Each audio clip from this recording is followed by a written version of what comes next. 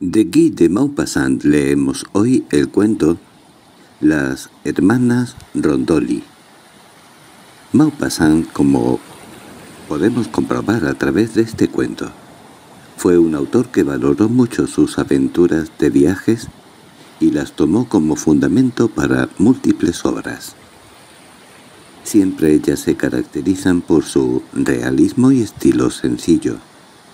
En este sentido, Maupassant fue autor de tres colecciones de recuerdos de viajes.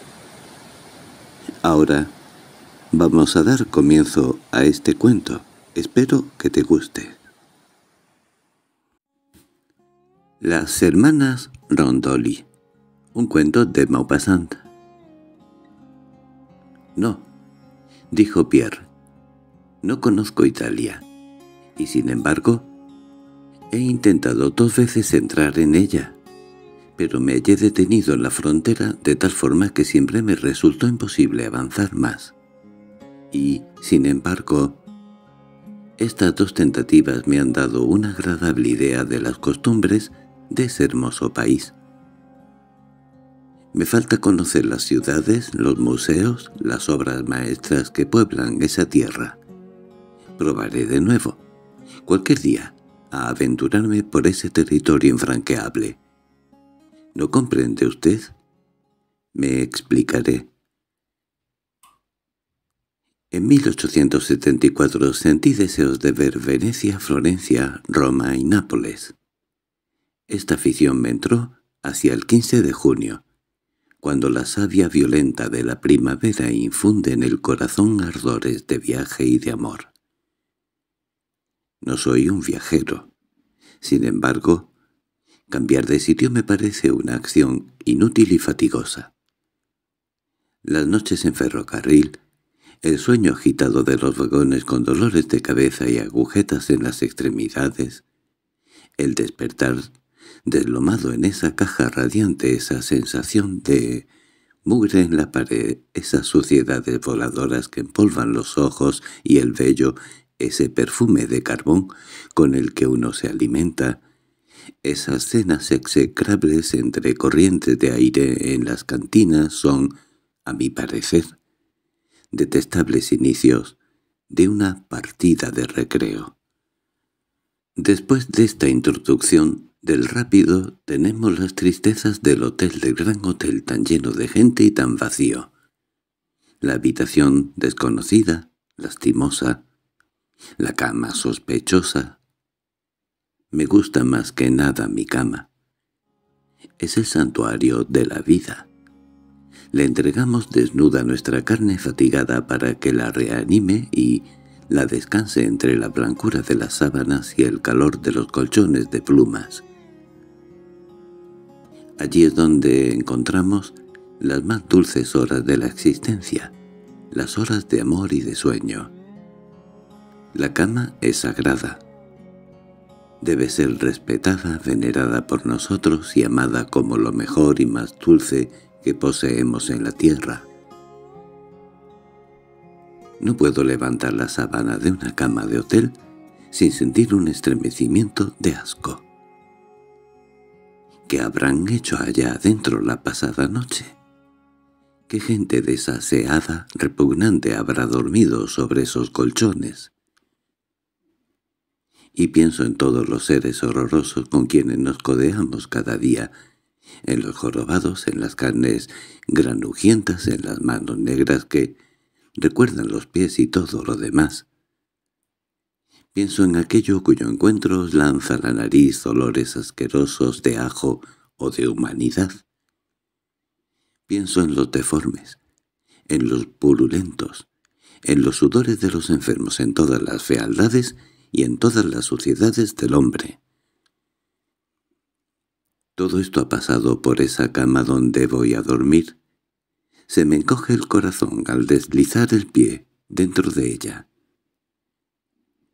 Y las cenas del hotel, esas largas cenas en la mesa redonda en medio de todas esas personas fastidiosas, grotescas, y las horribles cenas solitarias en la mesita de un restaurante frente a una pobre vela coronada por una pantalla.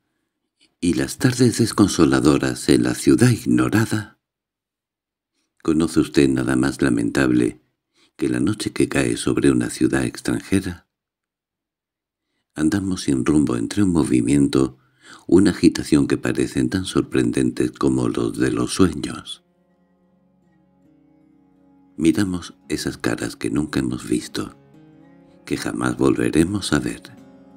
Escuchamos esas voces hablar de cosas que no, no son indiferentes, en una lengua que no comprendemos. Experimentamos la atroz sensación de estar perdidos.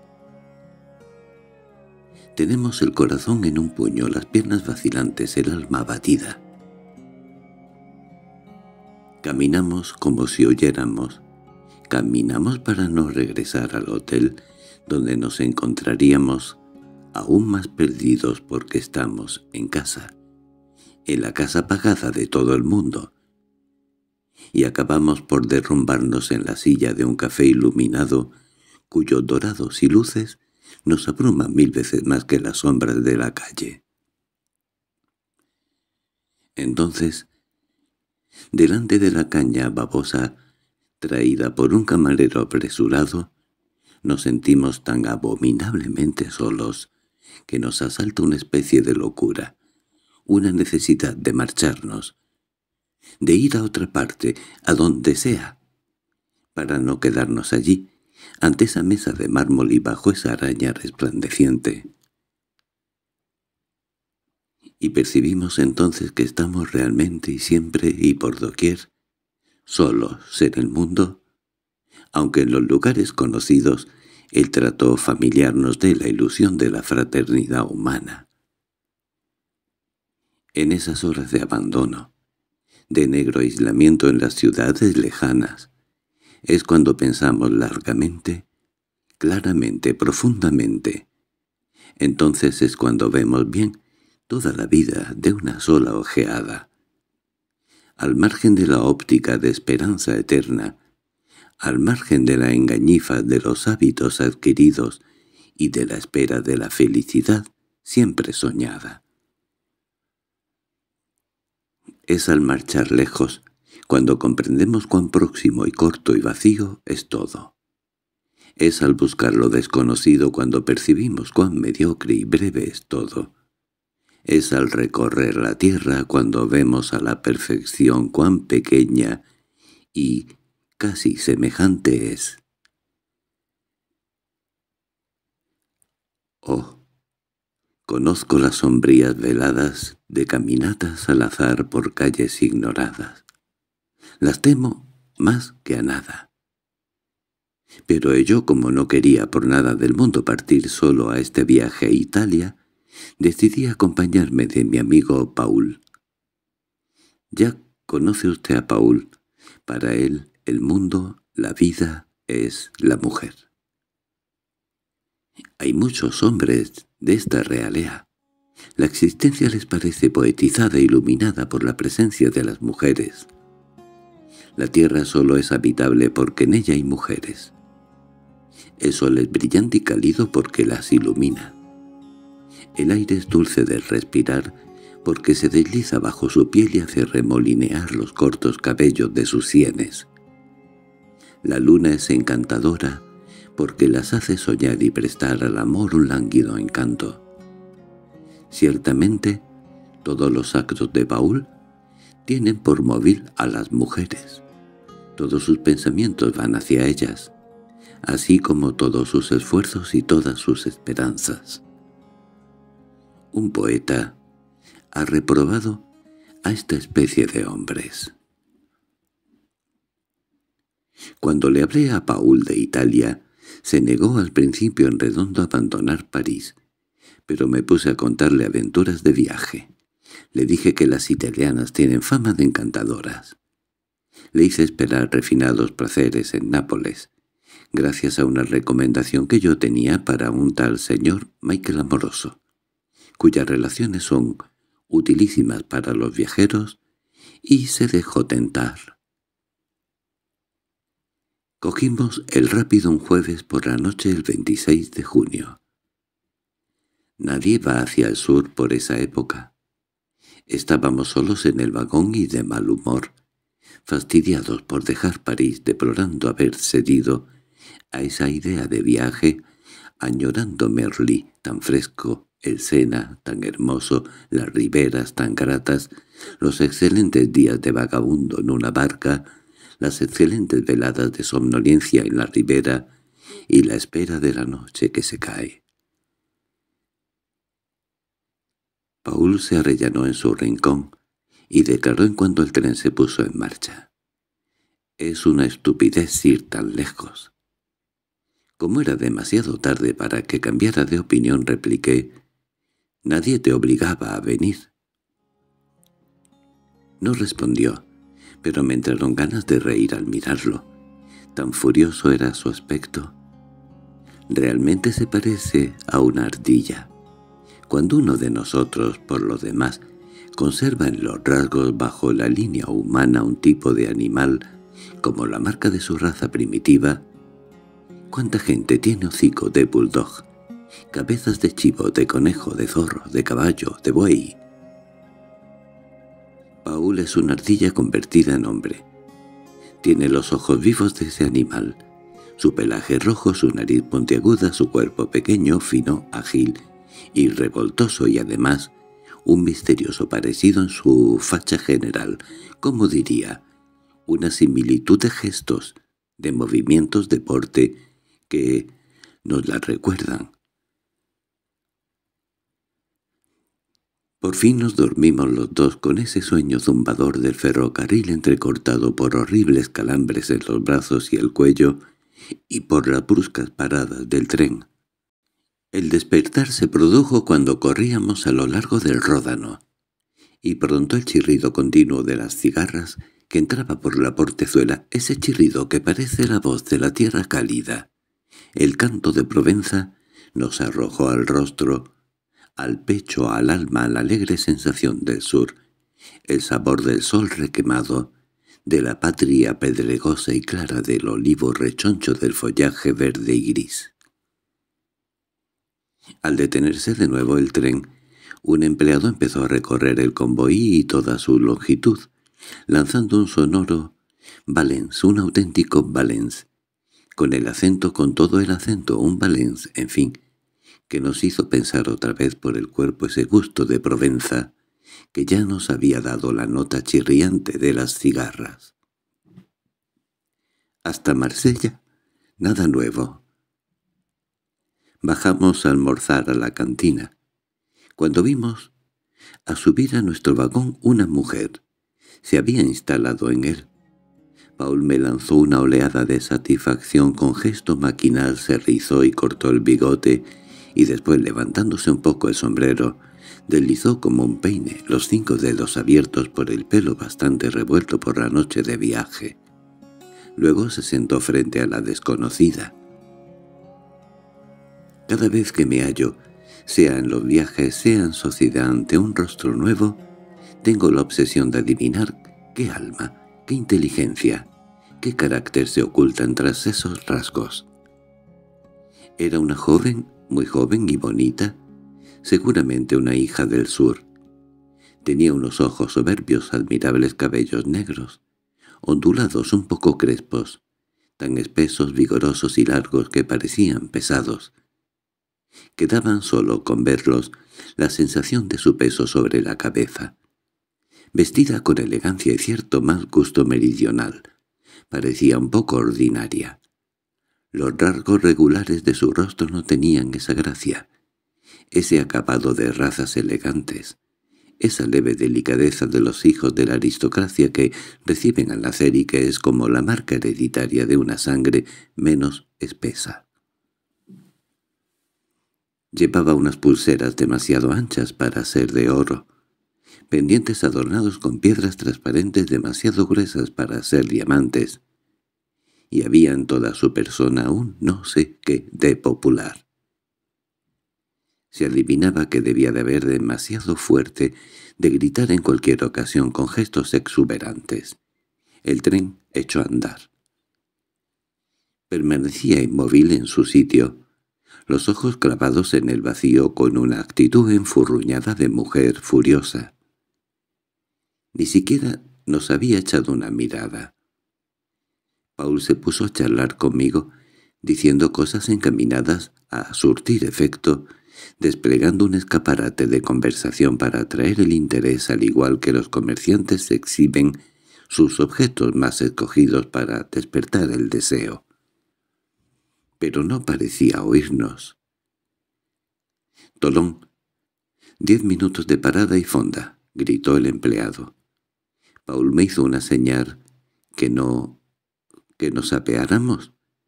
Y cuando estuvimos en el andén, ¿quién crees que podrá ser? Me eché a reír. Y yo qué sé, me da igual. Estaba enardecido. Una real moza terriblemente linda y fresca, qué ojos, pero no tiene una pinta muy satisfecha. Debe de tener problemas. No se fija en nada. Murmuré.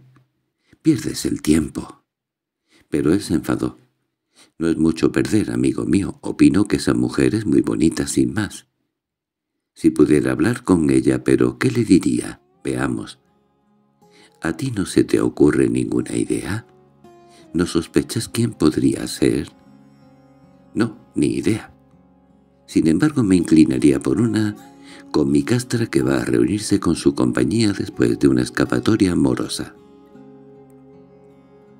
Pero una cara ofendida, como si le hubiese dicho algo hiriente y prosiguió. ¿De dónde sacas eso? Yo en cambio le encuentro un aire muy distinguido. Respondí. Fíjate en las pulseras, amigo mío, y en los pendientes y en su traje. Tampoco me extrañaría que fuese una bailarina, o quizá incluso un artista ecuestre, pero más bien una bailarina. En toda su persona hay algo que huele a teatro. Esta idea le molestaba decididamente. Es demasiado joven, amigo mío, apenas tiene veinte años. Pero chico, hay muchas cosas que se pueden hacer antes de los veinte años.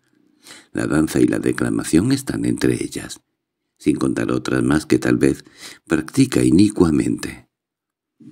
Señores viajeros del Express de Niza y Benvigla al tren, gritaba el empleado. Había que subir. Nuestra vecina comía una naranja. Decididamente su aspecto no era distinguido.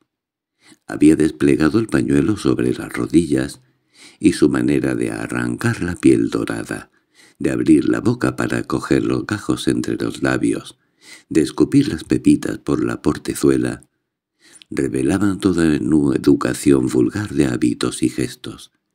Parecía además más cascarrabias que nunca, y tragaba rápidamente su fruta con una pinta de furor muy graciosa. Paula devoraba con los ojos, buscando lo que habría que hacer para llamar su atención, para despertar su curiosidad, y volvió a charlar conmigo, alumbrando una procesión de ideas distinguidas, citando familiarmente nombres conocidos. Ella no hacía el menor caso de sus esfuerzos. Pasamos Frescus Saint Rafael. El tren corría por aquel vergel, por aquel paraíso de las rosas, por aquel bosque de naranjos y limoneros que ofrecen al mismo tiempo sus ramilletes blancos y sus frutos de oro, por aquel reino de los perfumes, por aquella patria de las flores, por aquella admirable ribera que va desde Marsella a Génova. Es en junio, cuando hay que seguir esa costa donde crecen, libres silvestres en los estrechos valles, en las laderas de las colinas, las flores más hermosas. Y siempre se ven rosas, campos, llanuras, setos, bosques de rosas.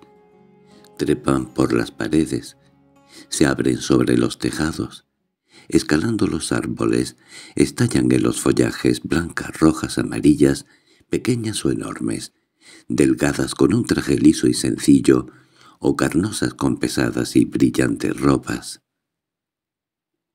y su hálito poderoso, su hálito continuo espesa el aire, lo vuelve sabroso y lánguido, y el aroma aún más penetrante de los naranjos en flor parece azucarar lo que uno respira, convertirlo en una golosina para el olfato.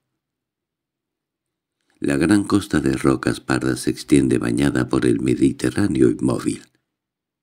El pesado sol de verano cae como un lienzo de fuego sobre las montañas, sobre las largas orillas de arena, sobre el mar de un azul duro y yerto. El tren sigue avanzando. Entra en los túneles para cruzar los cabos. Se desliza por las ondulaciones de las colinas. Pasa encima del agua, sobre cornisas rectas como muros, y un suave, un vago olor salado, un olor a algas que se secan, se mezclan a veces con el grande y turbador olor de las flores. Pero Paul no veía nada, no miraba nada, no sentía nada. La viajera había traído toda su atención. En Cannes, como tenía que decirme algo más, me hizo señas de que bajáramos de nuevo. Apenas salido del vagón me cogió del brazo.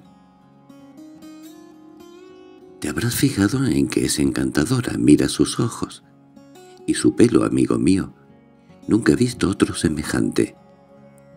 Le dije, cálmate, vamos, o bien si tienes esa sensación, ataca. No me parece inexpugnable aunque tenga una pinta algo gruñona. Prosiguió. ¿No podrías hablarle tú? A mí no se me ocurre nada. Soy de una timidez estúpida, al principio.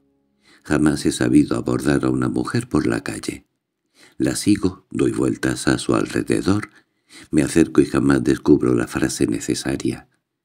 Solo una vez hice un intento de conversación. Como veía de forma muy evidente que mis proposiciones eran esperadas, y como resultaba absolutamente preciso decir algo balbucí, «¿Cómo está usted, señora?» Se rió en mi cara y escapé. Prometí a Paul que desplegaría toda mi habilidad para entablar una conversación, y cuando ocupamos nuestro sitio le pregunté galantemente a nuestra vecina. —¿Le molesta el humo del tabaco, señora? Respondió. —Nunca pisco. Era italiana. Me invadieron unas ganas locas de reír. Como Paul no sabía una palabra de esa lengua tenía que servirle yo de intérprete. Iba a comenzar mi papel, dije entonces en italiano. Le preguntaba, señora, que si el humo del tabaco le molesta. Ella me lanzó, con aire furioso, «Che Mila». No había vuelto la cabeza ni alzado sus ojos hacia mí, y yo estaba muy perplejo sin saber si decía «tomar ese, ¿qué más me da?» Por una autorización, por una negativa, por una auténtica señal de indiferencia o por un simple «déjeme en paz». Proseguí. «Señora, si el olor le molesta un poquito». Respondió entonces «Mica», con una entonación que equivalía a «váyase a paseo». No obstante era un permiso y le dije a Paul «puedes fumar». Me miraba con esos ojos asombrados que uno pone cuando trata de entender a gente que habla delante de él una lengua extranjera, y preguntó con un aire muy gracioso, «¿Qué le has dicho?» Le pregunté que si podíamos fumar. «¿No sabe francés, pues?» Ni una palabra. «¿Qué ha respondido?» «Que nos autorizaba a hacer lo que nos apeteciera». Y encendí mi cigarro. Paul prosiguió. ¿No ha dicho más que eso?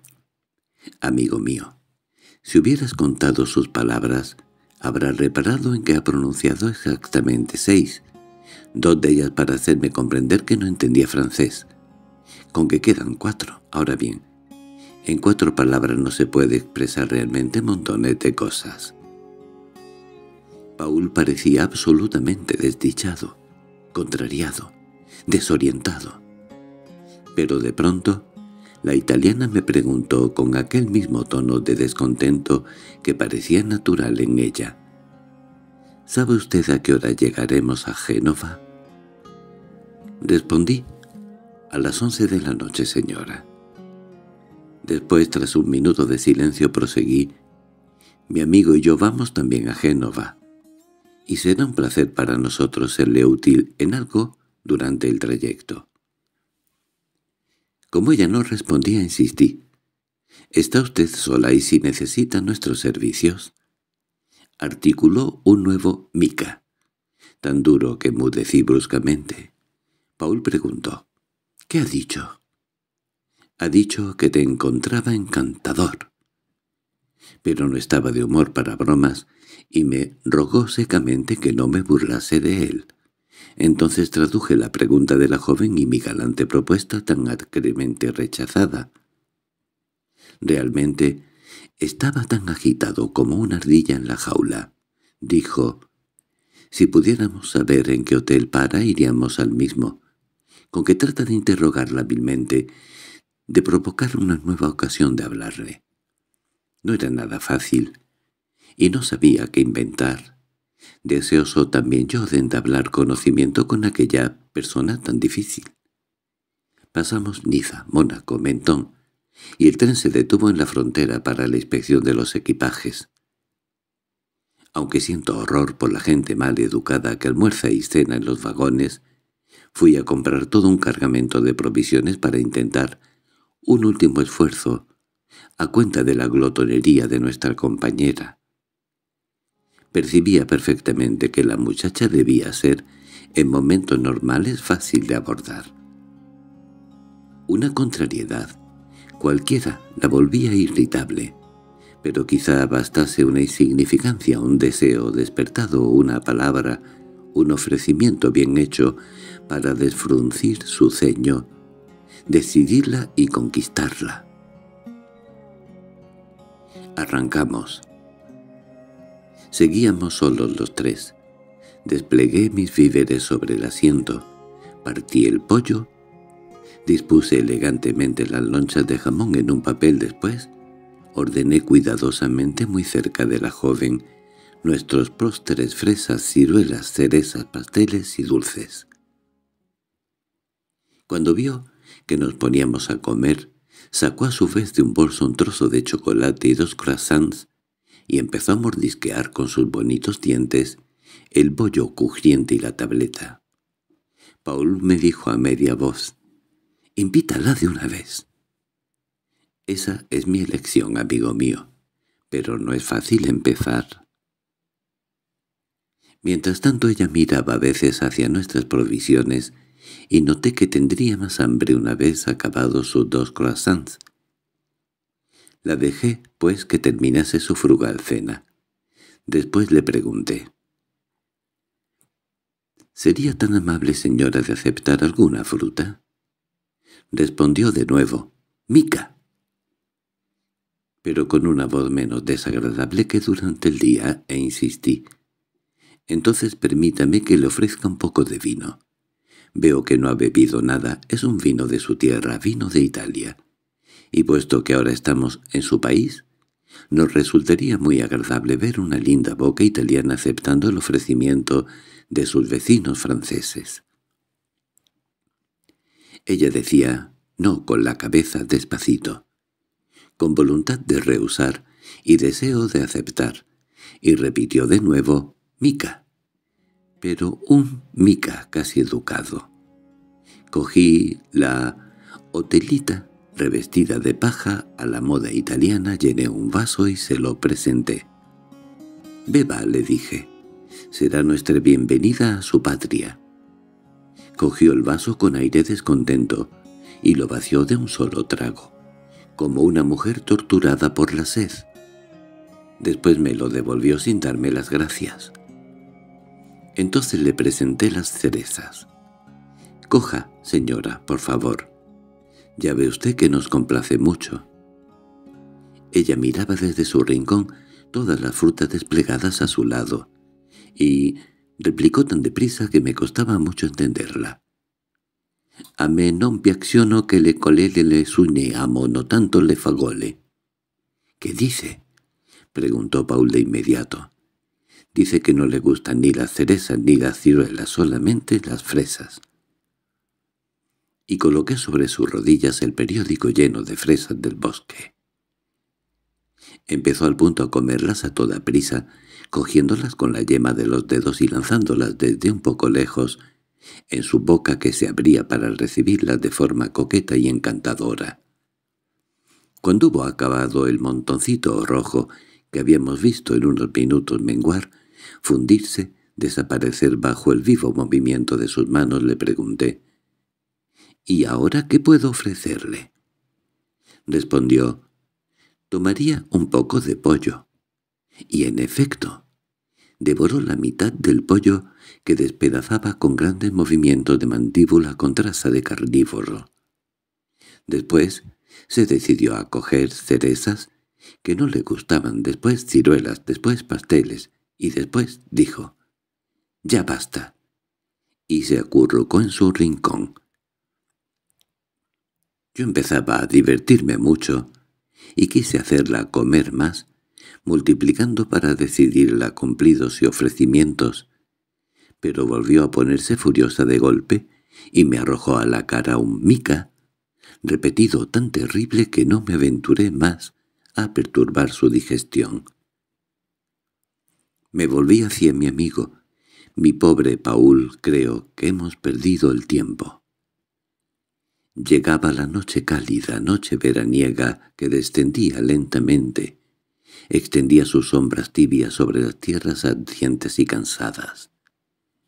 A lo lejos del trecho en trecho, hacia el mar, se encendían luces en los cabos, en la cima de los promontorios y también comenzaban a aparecer estrellas en el horizonte, y yo las confundía a veces con los faros. El perfume de los naranjos se hacía más penetrante. Lo respirábamos con embriaguez, ensachando los pulmones para beberlo a fondo. Algo dulce, delicioso, divino, parecía flotar en el aire embalsamado y de repente distinguí bajo los árboles, a lo largo de la vía en la sombra enteramente negra ahora, algo así como una lluvia de estrellas. Se podrían decir gotas de luz que brincaban, revoloteaban, jugaban y corrían por las hojas, pequeños astros caídos del cielo para hacer una excursión por la tierra. Eran luciérnagas. Esas moscas ardientes danzando en el aire perfumado un extraño ballet de fuego. Una de ellas, por casualidad, entró en nuestro vagón y empezó a vagabundear despidiendo su resplandor intermitente, tan pronto apagada como encendida. Cubrí nuestro quinqué con su velo azul y contemplé las idas y venidas de la mosca fantástica según los caprichos de su vuelo encendido. Se posó de pronto en los cabellos negros de nuestra vecina, amodorrada después de cenar, y Paul permanecía en éxtasis con los ojos clavados en aquel punto brillante que centelleaba como una joya viva sobre la frente de la mujer dormida. La italiana despertó hacia las once menos cuarto, llevando siempre en su peinado el animalillo encendido. Dije al verla moverse, «Estamos llegando a Génova, señora» murmuró sin responderme como obsesionada por una idea fija y molesta. —¿Qué voy a hacer ahora? Después de pronto me preguntó. —¿Quieren que vaya con ustedes? Me quedé tan estupefacto que no comprendía. —¿Cómo con nosotros? ¿Qué quiere decir? Repitió con un aire cada vez más furioso. ¿Quieren que vaya con ustedes enseguida? Sí que quiero, pero ¿a dónde desea usted ir? ¿A dónde quiere que la lleve? Se encogió de hombros con soberana indiferencia. «A donde ustedes quieran, me da igual». Repitió dos veces. «Che, mifa». «Pero es que nosotros vamos al hotel», dijo con un tono de lo más despreciativo. «Pues bueno, vayamos al hotel». Me volví hacia Paul y expliqué. Pregunta si queremos que venga con nosotros. La sorpresa azarada de mi amigo me hizo recuperar mi sangre fría. Él dijo, «¿Con nosotros? ¿Y a dónde? ¿Por qué? ¿Cómo?» Y yo qué sé. Acaba de hacerme esa extraña proposición con un tono de lo más irritado. He respondido que íbamos al hotel y ha replicado, «Pues bueno, vayamos al hotel». No debe de tener un céntimo, es igual. Tiene una singular manera de entablar conocimiento. Paul, agitado y tembloroso, exclamó, «Claro que sí, Me parece bien. Dile que la llevaremos a donde quiera. Después vaciló un segundo y prosiguió con voz inquieta. Solo que habrá que saber con quién viene. ¿Contigo o conmigo? Me volví hacia la italiana que ni siquiera parecía escucharnos, sumida en su total despreocupación, y dije, «Estaremos encantados, señora, de llevarla con nosotros, solo que mi amigo desea saber si es mi brazo o el suyo el que usted quiere coger como apoyo». Abrió mucho sus grandes ojos negros y respondió con baja sorpresa. «Che, Mila». Me expliqué. En Italia creo al amigo que se cuida de todos los deseos de una mujer, que se preocupa de todas sus voluntades y satisface todos sus caprichos, le llaman un patito. ¿A cuál de los dos quiere usted de patito? Respondió sin vacilar, a usted. Me volví hacia Paul. «Me he elegido a mí, amigo mío. No estás de suerte», declaró con aire rabioso. «Mejor para ti». Después, tras haber reflexionado unos minutos, «¿Es que te interesa llevarte a esa zorra? Nos va a estropear el viaje. ¿Qué quieres que hagamos con esa mujer que tiene una pinta tan rara? Ni siquiera nos aceptarán en un hotel, como es debido. Pero yo empezaba justamente a encontrar a la italiana mucho mejor de lo que la había juzgado al principio, y me interesaba, sí, me interesaba llevármela ahora incluso estaba fascinado por la idea, y sentía que esos pequeños escalofríos de espera, que la perspectiva de una noche de amor hace pasar por las venas. Respondí, «Amigo mío, hemos aceptado. Es demasiado tarde para volverse atrás. Tú has sido el primero en aconsejarme que respondiera así». Rezongó, «¡Qué estupidez! En fin, haz lo que quieras». El tren silbaba. Disminuía la marcha. Llegamos. Bajé del vagón. Después tendí la mano hacia mi nueva compañera. Saltó ágilmente a tierra y le ofrecí el brazo, que pareció coger con repugnancia. Una vez identificado y reclamado el equipaje echamos a andar a través de la ciudad. Paul marchaba en silencio con paso nervioso. Le dije, «¿En qué hotel vamos a parar? Quizás sea fácil ir a la ciudad de París con una mujer, sobre todo con esta italiana». Paul me interrumpió. Sí, con una italiana que tiene más pinta de moza que de duquesa. En fin, no es asunto mío. Haz lo que te parezca. Me quedé perplejo. Había escrito al Ciudad de París para reservar habitaciones, y ahora no sabía qué decisión tomar. Dos mozos de cuerda nos seguían con los baúles. Proseguí. «Deberías adelantarte, di que llegamos, y además dale a entender al dueño que estoy con una amiga y que deseamos una suite totalmente aislada para nosotros tres, con el fin de no mezclarnos con los otros viajeros. Comprenderá y, según su respuesta, ya decidiremos. Pero Paul dijo, «Gracias, no me van estos recaditos ni este papel. No he venido aquí para prepararte tus habitaciones ni tus placeres». Pero yo insistía, «Vamos, amigo mío, no te enfades. Más vale, con toda seguridad parar en un hotel que en uno malo, y no es muy difícil ir a pedir al dueño tres habitaciones separadas con comedor. Recalqué lo de tres, y se decidió. Tomó la delantera, pues, y lo vi entrar por la puerta principal de un hermoso hotel, mientras yo permanecía al otro lado de la calle arrastrando a mi muda italiana, y seguido paso a paso por los portadores de los bultos. Paul regresó por fin, con un rostro tan huraño como el de mi compañera. «Listo», dijo, «nos acepta. Pero hay más de dos habitaciones.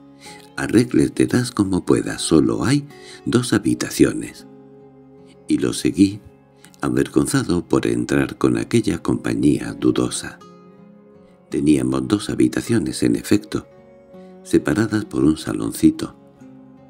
Rogué que nos llevaran una cena fría y después me volví un poco perplejo hacia la italiana. No hemos podido procurarnos más que dos habitaciones. Señora, elija usted la que desee. Respondió con su eterno «Che, Milá». Entonces cogí del suelo su cauta de madera negra, un auténtico baúl de criada y la llevé al aposento de la derecha, que escogí para ella, para nosotros. Una mano francesa había escrito en un cuadrado de papel engomado, «Señorita Francesca Rondoli, Génova». Pregunté, «¿Se llama usted Francesca?» Dijo que sí con la cabeza sin responder. Proseguí, «Vamos a cenar enseguida, mientras tanto. ¿Le apetece quizá asearse?» Respondió con un mica, palabra tan frecuente en su boca como el chemila. Insistí después de un viaje en ferrocarril, ¿es tan agradable lavarse? Después pensé que a lo mejor no tenía los objetos indispensables para una mujer, pues me parecía que una singular situación, como al salir de alguna aventura desagradable, y traje mi neceser. Saqué todos los pequeños instrumentos de limpieza que contenía.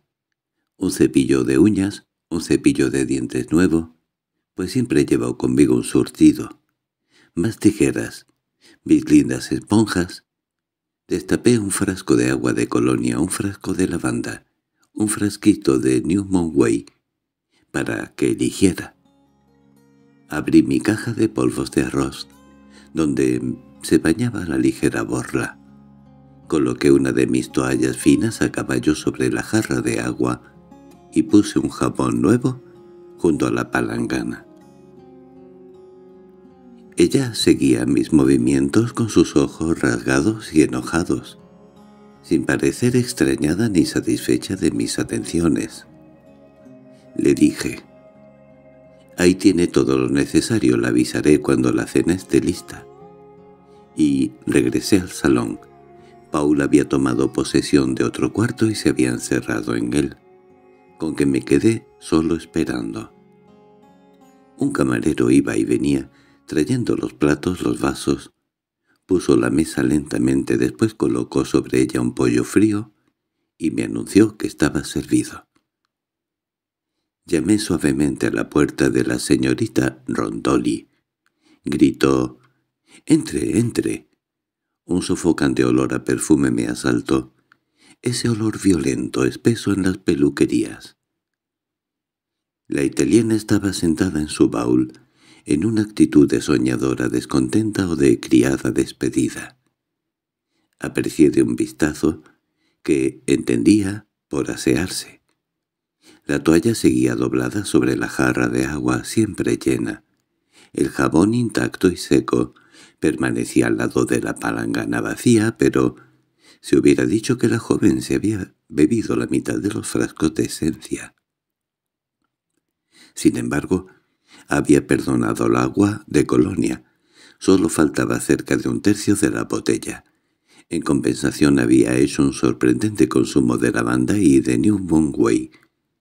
Una nube de polvo de arroz, una vaga niebla blanca parecía flotar aún en el aire, de tanto como se había embadurnado el rostro y el cuello.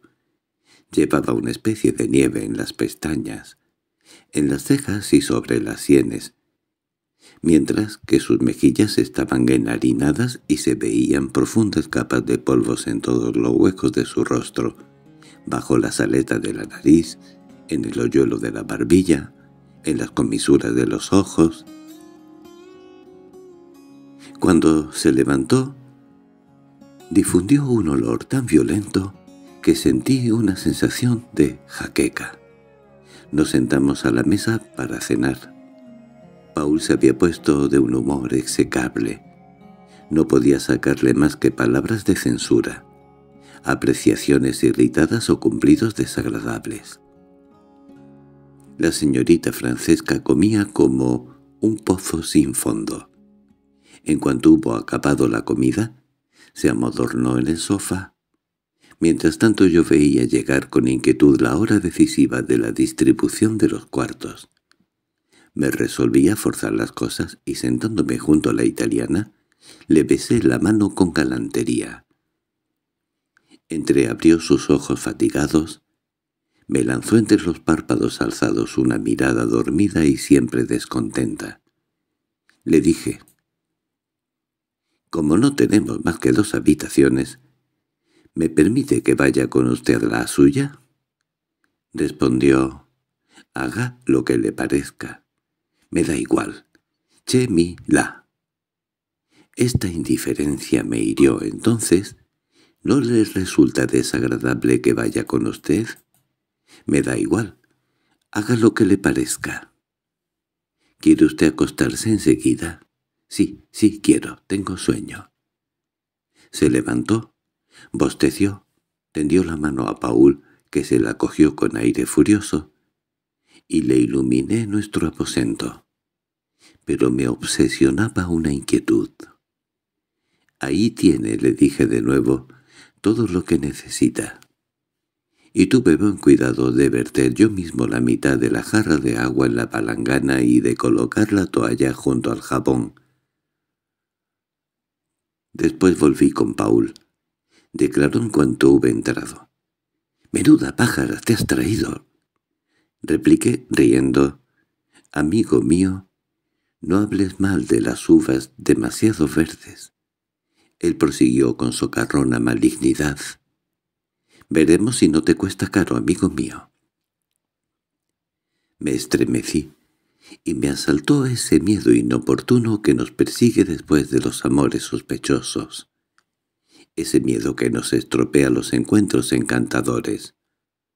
Las caricias imprevistas, todos los besos atrapados al azar. Me hice el valiente, sin embargo. «Quita allá esta chica. No es una buscona» pero me había calado el muy brimón. Había visto pasar por mi rostro la sombra de mi inquietud. ¿Tanto la conoces? Te encuentro sorprendente. Recoges en un vagón a una italiana que viaja sola, te ofrece, con un cinismo realmente singular, ir a acostarse contigo en el primer hotel, te la traes. Y ahora pretendes que no es una furcia, y te persuades de que no corres más peligro esta noche que si fueras a pasar la noche en la cama de una... de una mujer enferma de sífilis. Y reía con su risa maligna y vejada. Me senté, torturado por la angustia. ¿Qué iba a hacer? ¿Por qué? ¿Tenía razón? Y un terrible combate se entablaba ante mí con el temor y el deseo. Él prosiguió. «Haz lo que quieras. Yo ya te he avisado, no te quejes después de las consecuencias». Pero vi en sus ojos una alegría tan irónica, tal placer de venganza, se burlaba tan descaradamente de mí que no vacilé. Le tendí la mano. «Buenas noches», le dije. «A fe mía, querido, la victoria vale el peligro y entré con paso firme en la habitación de Francesca. Me quedé junto a la puerta, sorprendido, maravillado. Dormía ya completamente desnuda en la cama. El sueño la había sorprendido cuando acababa de desnudarse y reposaba en la actitud encantadora de la gran mujer de Tiziano. Parecía haberse acostado por cansancio, para quitarse las medias, pues éstas habían quedado sobre las sábanas. Después había pensado en algo, sin duda en algo agradable, pues había esperado un poco antes de levantarse para dejar que su ensoñación terminase y después cerrando suavemente los ojos había perdido la conciencia. Un camisón, bordado en el cuello, comprado en una tienda de confección, lujo de primeriza, yacía sobre una silla. Era encantadora, joven, firme, fresca. ¿Hay cosa más bonita que una mujer dormida? Ese cuerpo, cuyos contornos son todos suaves, cuyas curvas seducen todas, cuyos blancos relieves turban todo el corazón, parece hecho por la inmovilidad de la cama, Esa línea sinuosa que ahonda en el flanco se alza en la cadera, después desciende por la pendiente ligera y graciosa de la pierna para terminar tan coquetamente en la punta del pie, solo se dibuja realmente con todo su exquisito encanto en al alargarse sobre las sábanas de un lecho. Iba a olvidar yo en un segundo los prudentes consejos de mi camarada, pero de pronto al volverme hacia el tocador, vi todas las cosas en el estado en que yo las había dejado, y me senté muy ansioso, torturado por la irresolución. Con seguridad me quedé allí mucho tiempo, muchísimo, quizá una hora, sin decidirme a nada, ni a la audacia ni a la huida. La retirada me resultaba imposible por lo demás, y o bien tenía que pasar la noche en una silla, o bien que acostarme a mi vez por mi cuenta y riesgo. En cuanto a dormir aquí o allá, no podía pensar en ello. Tenía la cabeza demasiado agitada y los ojos demasiado ocupados. Me meneaba sin cesar, vibrante, afiebrado, incómodo, nervioso en exceso. Después me hice un razonamiento abandonista. Acostarme no me compromete a nada. Siempre estaré mejor para descansar en un colchón que en una silla. Me desvestí lentamente. Después, pasando por encima de la durmiente, me extendí junto al muro dando la espalda a la tentación, y permanecí todavía mucho tiempo, muchísimo, sin dormir pero de pronto mi vecina se despertó. Abrió unos ojos asombrados y siempre descontentos. Y después, advirtiendo que estaba desnuda, se levantó y se puso tranquilamente el camisón, con tanta indiferencia como si yo no hubiera estado allí. Entonces, a fe mía, aproveché la circunstancia, sin que a ella pareciera preocuparle en absoluto, y volvió a dormirse plácidamente, la cabeza posada sobre el brazo derecho. Y yo me puse a meditar sobre la imprudencia y la debilidad humanas. Después me adormilé por fin. Ella se vistió temprano, como mujer habituada a las labores de la mañana. El movimiento que hizo al levantarse me despertó y la aceché entre los párpados semicerrados. Iba y venía sin apresurarse, como extrañada de no tener nada que hacer. Después se decidió acercarse a la mesa del tocador donde vació en un minuto todos los perfumes que quedaban en los frascos. Utilizó también agua, es cierto, pero poca. Después, cuando se hubo vestido por completo, se sentó en su baúl y con una rodilla entre las manos permaneció pensativa. Fingí entonces verle y dije, «Buenos días, Francesca». Rezongó sin parecer más graciosa que la víspera, «Buenos días». Pregunté, «¿Durmió usted bien?» Dijo que sí con la cabeza sin responder, y, saltando al suelo, me adelanté para besarla. Me tendió su rostro con un movimiento aburrido de niño a quien acaricia su pesar. La cogí entonces tiernamente entre mis brazos. Una vez abierto el vino, tonto sería no beber más, y posé lentamente mis labios en sus grandes ojos, que ella cerraba aburrida. Bajo mis besos, en sus mejillas claras, en sus labios carnosos que apartaba, le dije, ¿No le gusta que la besen? Respondió, Mica. Me senté en el baúl a su lado y pasando mi brazo bajo el suyo. Mica, Mica, Mica para todo.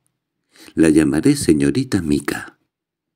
Por primera vez creí ver en su cara una sombra de sonrisa, pero se borró tan pronto que bien pude haberme equivocado. Pero, si usted sigue respondiendo Mica, ya no sabré qué intentar para agradarle. Veamos. ¿Qué vamos a hacer hoy? Vaciló como si una apariencia de deseo hubiera cruzado por su cabeza. Después dijo indolente. Me es igual, lo que usted quiera. Pues bien, señorita Mica, cogeremos un carruaje e iremos de paseo. Murmuró, como usted quiera.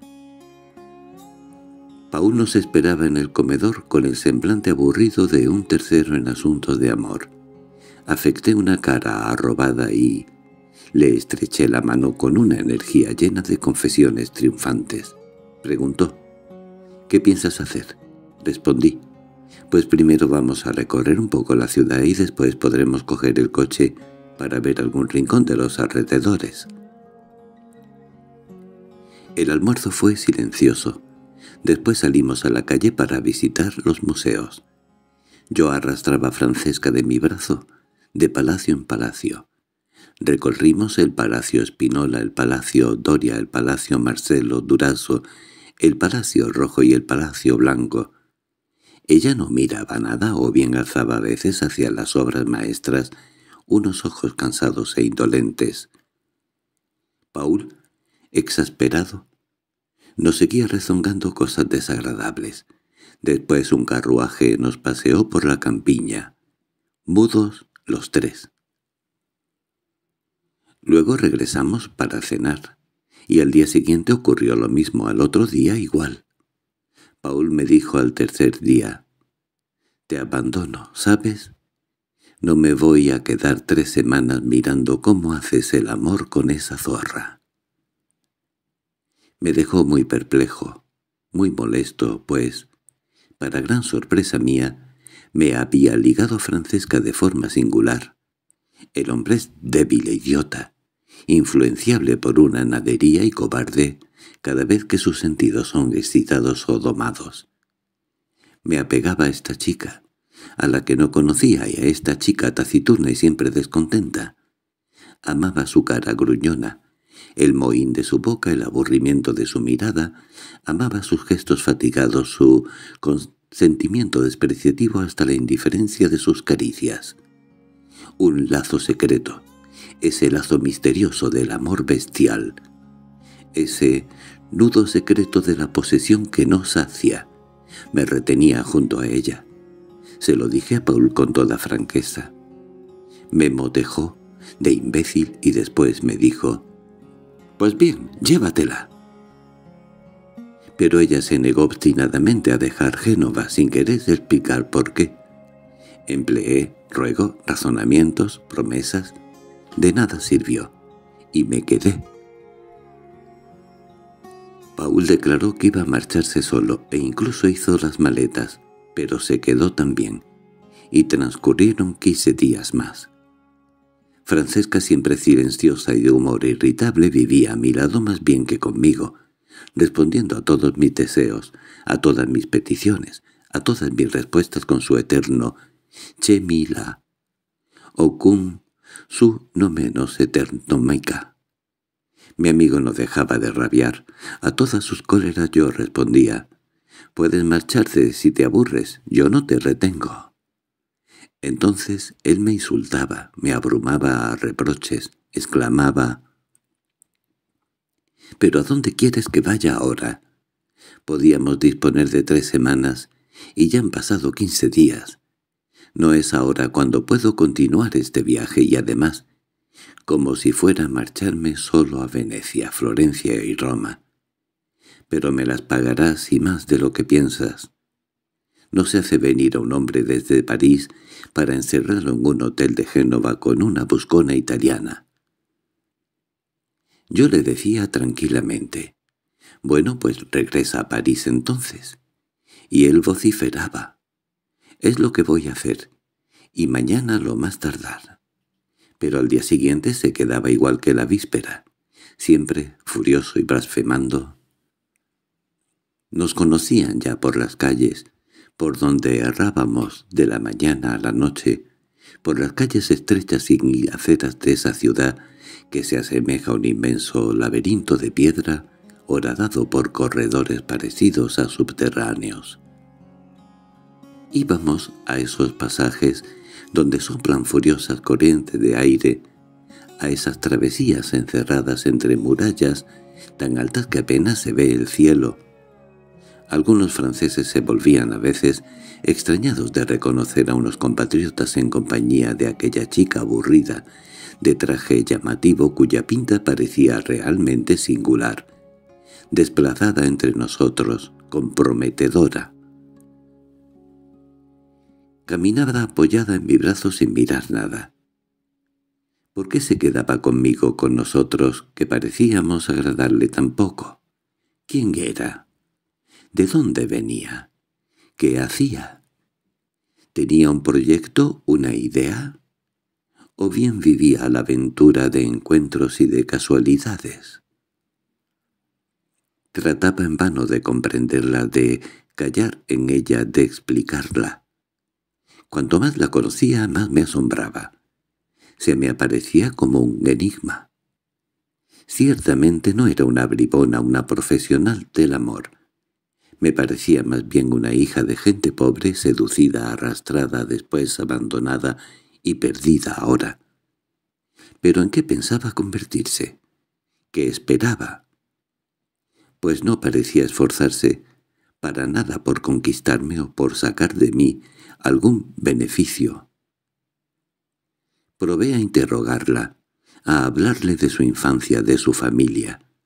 No me respondió, y permanecí con ella, al corazón libre y la carne atenazada, nada cansado de tenerla en mis brazos, a aquella hembra arisca y soberbia, acoplado como un animal atrapado por los sentidos, o mejor dicho, seducido, vencido por una especie de encanto sensual, un encanto joven, sano, poderoso, que se desprendía de ella, de su piel sabrosa, de las líneas robustas de su cuerpo. Transcurrieron ocho días más. El término de mi viaje se acercaba, pues debía estar de regreso en París el 11 de julio. Paul, ahora, se resignaba a la aventura más o menos, aunque insultándome siempre. En cuanto a mí, inventaba placeres, distracciones, paseos para divertir a mi amante y a mi amigo. Me tomaba infinito trabajo. Un día les propuso una excursión a Santa Margarita. Esta encantadora pequeña ciudad en medio de jardines se oculta a los pies de una costa que avanza a lo lejos en el mar hasta la aldea de Portofino. Seguíamos los tres la admirable cartera que corre a lo largo de la montaña. Francesca me dijo de pronto, «Mañana no podré pasear con ustedes. Iré a ver a mis padres». Después se calló. No la interrogué seguro de que no me correspondería. Se levantó en efecto al día siguiente muy temprano. Después, como yo seguía acostado, se sentó a los pies de la cama y dijo con molesta, contrariada, vacilante, «Si no he vuelto esta noche, ¿irá usted a buscarme?» Respondí, «Sí, claro que sí. ¿A dónde hay que ir?» Me explicó. Vaya a la calle Víctor Manuel, después coja el pasaje Falcone y la travesía San Rafael. Entre usted en la tienda de muebles en el patio al fondo del todo en el edificio que está a la derecha y pregunte por la señora Rondoli. Es allí. Y se marchó. Me quedé sorprendidísimo. Al verme solo, Paul estupefacto dijo, «¿Dónde está Francesca?» Y le contesté lo que acababa de pasar exclamó. «Pues bien, amigo mío, aprovecha la ocasión y larguémonos. De todos modos se nos acaba el tiempo. Dos días más o menos no cambian nada. En ruta, en ruta. Haz tu baúl, en ruta». Me negué. «No, amigo mío. Realmente no puedo abandonar a esta chica de semejante forma, después de haberme quedado cerca de tres semanas con ella. Tengo que decirle adiós que hacerle aceptar algo. No me comportaría como un sinvergüenza. Pero él no quería saber nada. Me metía prisa, me hostigaba. Sin embargo, no cedí. No salí en todo el día esperando el regreso de Francesca. No volvió. Por la noche a la cena Paul estaba exultante. «Es ella la que te ha abandonado, amigo mío. Es gracioso, graciosísimo. Yo estaba extrañado, lo confieso, y un poco avejado. Él se reía de mí en las narices, se metía conmigo. El método no es malo, por otra parte, aunque primitivo. «Espéreme, ahora vuelvo». ¿Es que vas a esperar mucho tiempo? ¿Quién sabe? Quizá tenga la ingenuidad de ir a buscarla a la dirección indicada. La señorita Rondoli, por favor. No es aquí, caballero. Apuesto a que tienes ganas de ir. Protesté. No, amigo mío. Y te aseguro que si no ha regresado mañana por la mañana me marcho a las ocho en el express. Me habré quedado veinticuatro horas. Es bastante. Mi conciencia estará tranquila. Pasé toda la velada inquieto, un poco triste, un poco nervioso. Mi corazón sentía verdaderamente algo por ella. A medianoche me acosté. Apenas dormí. Estaba en pie a las seis. Desperté a Paul, hice las maletas y cogimos juntos dos horas después el tren para Francia. Ahora bien, ocurrió que el año siguiente, por esa misma época, me asaltó como lo hace una fiebre periódica un nuevo deseo de ver Italia. Me decidí de inmediato a emprender ese viaje, pues la visita de Florencia, Venecia y Roma forman parte con toda seguridad de la instrucción de un hombre bien educado, y además proporciona en sociedad multitud de temas de conversación y permite declamar trivialidades artísticas que siempre parecen profundas. Partí solo esta vez y llegué a Génova a la misma hora que el año anterior, pero sin ninguna aventura de viaje. Fui a dormir al mismo hotel y por casualidad me dieron la misma habitación. Pero apenas me metí en la cama, el recuerdo de Francesca, que desde la víspera flotaba vagamente en mis pensamientos, me persiguió con extraña persistencia. ¿Conoce usted esa obsesión de una mujer mucho tiempo después, cuando regresamos a los lugares donde la hemos amado y poseído?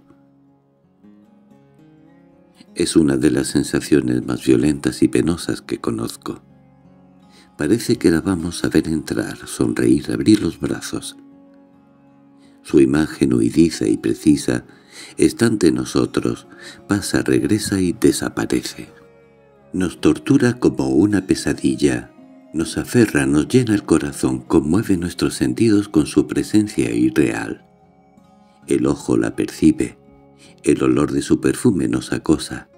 Tenemos en los labios el gusto de sus besos y la caricia de su carne sobre la piel. Y, sin embargo, estamos solos. Lo sabemos.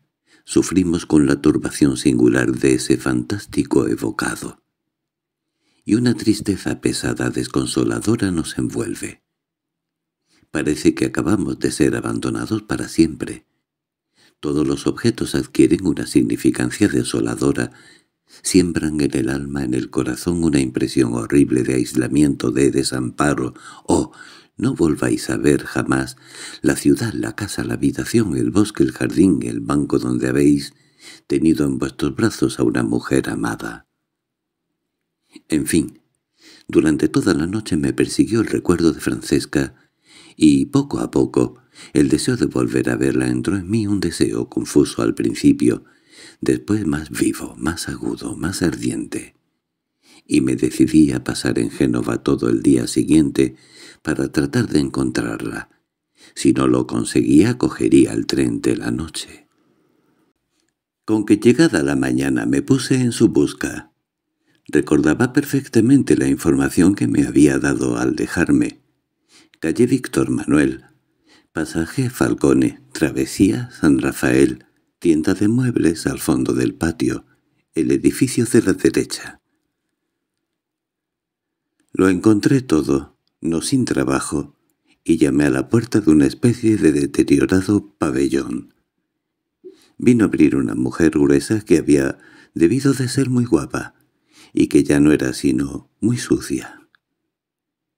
Demasiado gorda, conservaba, sin embargo, una notable majestad de líneas.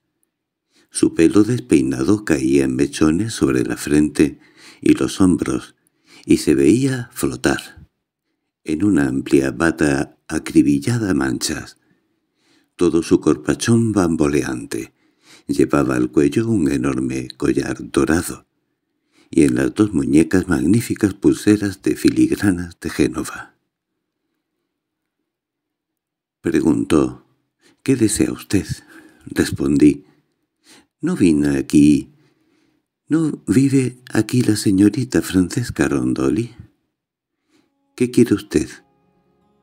Tuve el gusto de conocerla el año pasado y desearía verla. La vieja me escudriñaba con ojos desconfiados. «Dígame, ¿dónde la conoció?» «Aquí mismo, en Génova». «¿Cómo se llama usted?» Vacilé un segundo, después dije mi nombre. Apenas lo había pronunciado cuando la italiana alzó los brazos como para abrazarme. «Ah, es usted el francés. Qué contenta estoy de verlo, qué contenta. Pero, ¿cuándo ha hecho sufrir a la pobre niña? ¿La ha hecho sufrir tanto?» Lo esperó un mes, señor, así, un mes. El primer día creía que usted iba a venir a buscarla. Quería ver si la amaba. Si supiera cuánto lloró, cuando comprendió que no vendría usted. Sí, señor, lloró a lágrima viva. Y después fue al hotel. Usted se había marchado, entonces creyó que estaba usted haciendo su viaje por Italia y que iba a pasar otra vez por Génova y que la buscaría al regreso, ya que no había querido ir con usted. Y esperó, sí señor, más de un mes, y estaba muy triste, muy triste. Soy su madre. Me sentí un poco desconcertado. Realmente recobré mi seguridad, sin embargo, y pregunté, «¿Está aquí en este momento?» «No, señor. Está en París con un pintor, un chico encantador que la ama, señor, que la ama con un gran amor y que le ha dado todo lo que quiere. Mire, fíjese en lo que ella me envía a mí, su madre. Son bonitas, ¿verdad? Y me mostraba con una animación muy meridional las gruesas pulseras y el pesado collar de su cuello. Prosiguió. También tengo dos pendientes con piedras y un traje de seda y sortijas. Pero no los llevo por la mañana, me los pongo solo hacia la tarde, cuando me visto de tiros largos. Oh, es muy feliz, muy feliz, señor, muy feliz. Qué contenta se pondrá cuando le escriba que ha venido usted. Pero pase, señor, siéntese, tomará usted algo, pase. Yo me negaba, pues ahora quería marcharme en el primer tren, pero me había cogido del brazo y me atraía, repitiendo, «Pase de una vez, señor, tengo que decirle que ha venido usted a nuestra casa» y penetré en una salita bastante oscura, amueblada con una mesa y unas cuantas sillas. Prosiguió. «Oh, es muy feliz ahora, muy feliz. Cuando usted la encontró en el ferrocarril tenía un gran pesar. Su amiguito la había abandonado en Marsella. Y regresaba la pobre niña. A usted lo quiso mucho enseguida, pero todavía estaba un poco triste, ya comprenderá usted. Ahora no le falta de nada. Me escribe todo lo que hace. Él se llama señor Bellemin. Dicen que es un gran pintor en su tierra. La encontró al pasar por aquí, en la calle, señor, en la calle, y la amó enseguida. ¿Tomará usted un vaso de jarabe? Es muy bueno. ¿Está usted solo este año? Respondí, sí, estoy solo. Me senté ganado ahora por los crecientes deseos de reír, pues mi desengaño inicial se evaporaba con las declaraciones de la señora Rondoli. Tuve que tomar un vaso de jarabe. Ella continuaba. —¿Cómo está usted solo? —Oh, cuánto siento entonces que Francesca no esté aquí. Le habrá hecho compañía el tiempo que usted fuera a quedarse en la ciudad. No es muy alegre pasear solo, y ella lo lamentaría mucho por su parte. Después, como yo me levantaba, exclamó, «Pero si quiere usted, Carlota irá con usted, conoce muy bien los paseos. Es mi otra hija, señor, la segunda». Sin duda tomó mi estupefacción por un consentimiento y, precipitándose a la puerta interior, la abrió y gritó en la oscuridad de una escalera invisible. —¡Carlota! —Carlota, baja enseguida, ven ahora mismo, hijita. Quise protestar. No me lo permitió. No, le hará compañía. Es muy dulce y mucho más alegre que la otra. Es una buena chica, una buenísima chica a la que quiero mucho. Oí en los peldaños un ruido de suelas de chancletas y apareció una muchacha alta, morena, delgada y bonita, pero también despeinada que dejaba adivinar, bajo un vestido viejo de su madre, un cuerpo joven y esbelto. La señora Rondoli la puso enseguida al tanto de mi situación. «Es el francés de Francesca. El del año pasado, ya sabes. Venía a buscarla, está solo el pobre. Entonces le he dicho que irías con él para hacerle compañía». Carlota me miraba con sus hermosos ojos pardos y murmuró empezando a sonreír. «Si él quiere, me parece bien». «¿Cómo hubiera podido negarme?» declaré. «Claro que quiero». Entonces la señora Rondoli la empujó hacia afuera. «Vete a vestir, rápido, rapidito. Ponte el traje azul y el sombrero de flores. Date prisa». En cuanto su hija hubo salido me explicó. «Tengo aún otras dos, pero más pequeñas. Cuesta caro criar a cuatro hijas. Afortunadamente la mayor ha salido adelante ya» y después me habló de su vida, de su marido, que había muerto de empleado en ferrocarril y de todas las cualidades de su segunda hija Carlota. Esta regresó vestida al estilo de la mayor, con un traje llamativo y singular. Su madre la examinó de pies a cabeza, la juzgó muy de su agrado y nos dijo, «Y ahora váyanse, hijos míos».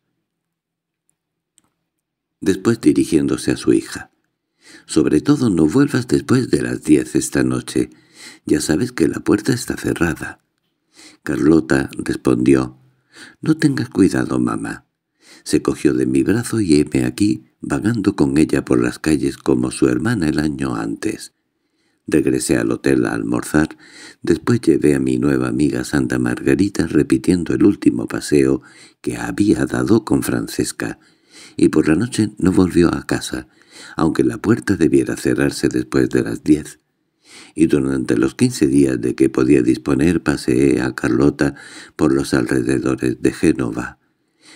No me hizo añorar a la otra. La dejé deshecha en lágrimas. La mañana de mi partida al entregarle con un recuerdo para ella cuatro pulseras para su madre.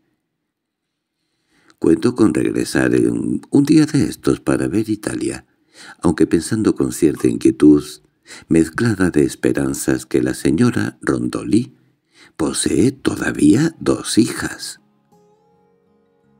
Fin